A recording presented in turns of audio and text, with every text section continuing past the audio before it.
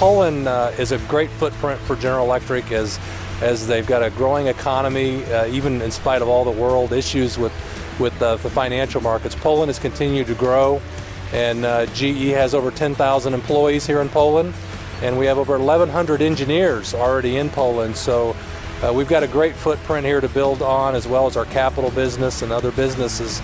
So this economic forum is really a great launch point for us to see the continued growth of Poland and be part of it. Our big message this year is energy. Um, the, the, Polish economy, if it continues to grow at the rate it is, is going to have energy problems. And so to address those, this is our sweet spot with uh, the energy business. Uh, we're here, you know, primarily dealing with nuclear.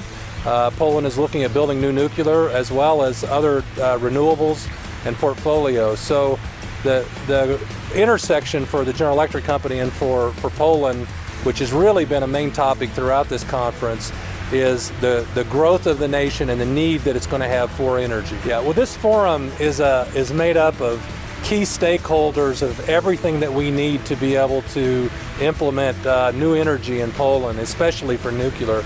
We have government, we have academic people here, we have economists, we have business owners, business people, and, and that forum enables this debate, which is very important to have to be had uh, very openly and to hear all sides of the issue. And anytime that we can get the facts out about our technology and get the facts out about our business, we are very successful because we have great technology and we have a, a, great deployment model here in Poland to be able to deploy that technology. Well, Poland's been working on this for several years.